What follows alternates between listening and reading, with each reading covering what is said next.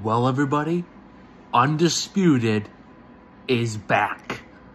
Skip Bayless, Richard Sherman, Keyshawn Johnson, and the playmaker Michael Irvin are now part of all the new Undisputed.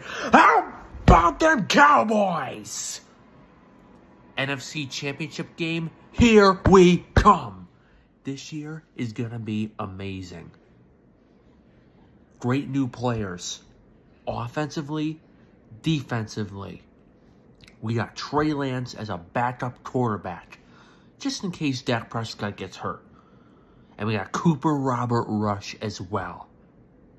Let's go, Dallas Cowboys. Win it all this year. You got some brand new guys. Jerry, at the deadline, grab a few new players also. Let's go, Dallas Cowboys.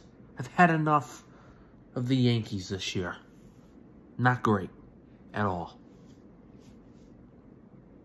Lost another series to Tampa Bay, but who, who, who cares?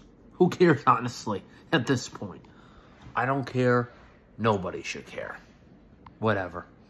It's on to Dallas Cowboys. Oh, by the way, and I'll do it again for you guys, and it's coming September 11th. After the Cowboys beat the Giants, I hope. How about them Dallas Cowboys? Let's go.